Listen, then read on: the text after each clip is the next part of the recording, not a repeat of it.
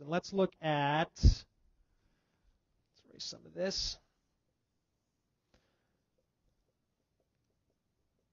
Remember last time we talked about a capacitor, and we said that inside a capacitor we have, if we're close enough, if the if the plates are large enough, and the gap between them is small enough, we can make a situation where we have a uniform electric field. Okay, so that's what I'm, I'm doing here. I have two plates, two disks that are parallel to each other, and they're very long, so these extend upward. And this separation between them is small compared to their size. Okay, so then inside,